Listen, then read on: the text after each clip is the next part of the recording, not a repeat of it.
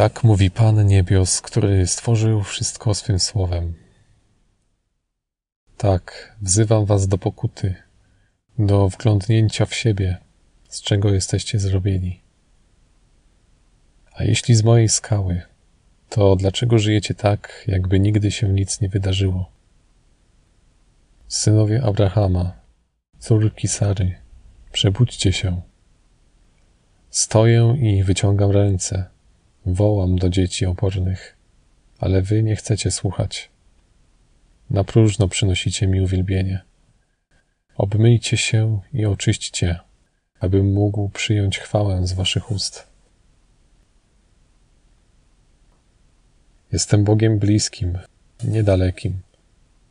Wołam stale, bez przerwy, a na palcach ręki mogę policzyć tych, którzy prawdziwie przychodzą. Co jeszcze ma się stać, abyście przyszli? Ratujcie swoje dusze. Zapłaciłem za każdego z was. Przychodźcie. Wołam każdego po imieniu. Nie bójcie się. Nie zwyciężycie sami grzechu. Nie pokonacie zniewolenia.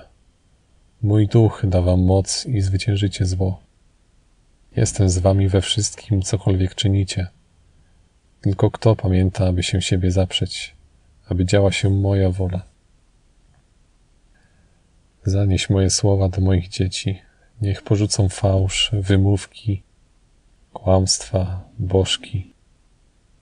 Niech przychodzą i piją, bo mój duch prawdy, który został wylany na świat bez miary, chce w was działać, a wy nie pozwalacie mu działać, zasmucacie go. Strach was paraliżuje przed Duchem Bożym. Martwicie się o zwiedzenie. Ale w sprawy światowe nie boicie się wchodzić. Nie boicie się, że to zwiedzenie. Bycia posłusznym mi, tego się boicie. Bo tak wiele jeszcze dla siebie chcecie zostawić. Odwróćcie się od swoich dróg.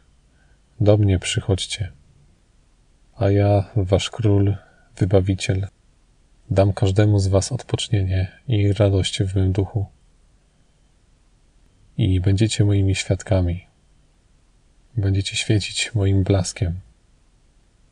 Przyjdę wkrótce, moje dzieci. Ufajcie mi. Ja zapłaciłem za was swoją krwią. Jeśli wytrwacie we mnie, będziecie ze mną królować.